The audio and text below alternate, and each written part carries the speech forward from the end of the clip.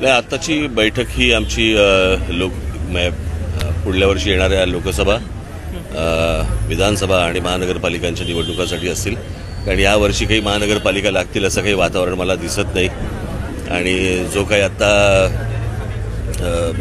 महाराष्ट्रामध्ये जो सगळा राजकीय घोळ झालेला आहे त्याच्यावरती तर मला नाही वाटत आत्ता कोणी महानगरपालिकेच्या निवडणुका लावतील आणि दोंडा पाडून घेतील.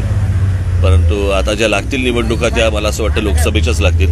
आणि त्या दृष्टिकोनातनं आमच्या प्रत्येक लोकसभा मतदारसंघाची चाचपणी होईल.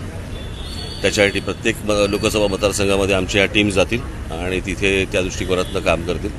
आणि काय काय काम करायचं हे त्यांना सांगितलेलं आहे. सर लोकसभानी काही जबाबदाऱ्या पक्षांतर्गत देण्यात येईल? आता काय बोललो मी?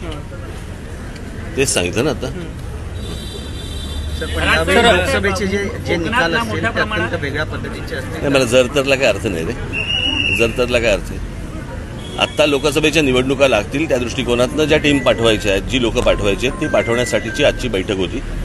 उद्या त्यांच्या हातामध्ये परवा दिवशी त्यांच्या हातामध्ये संपूर्ण कार्यक्रम दिला जाईल.